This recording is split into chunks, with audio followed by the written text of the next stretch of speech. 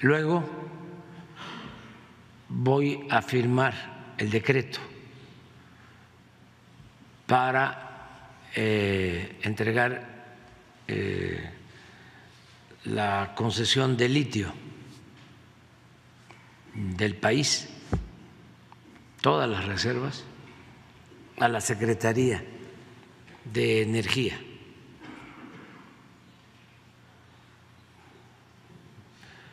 Y el último acto del sábado va a ser eh, la evaluación de la ampliación del camino hacia Guaymas.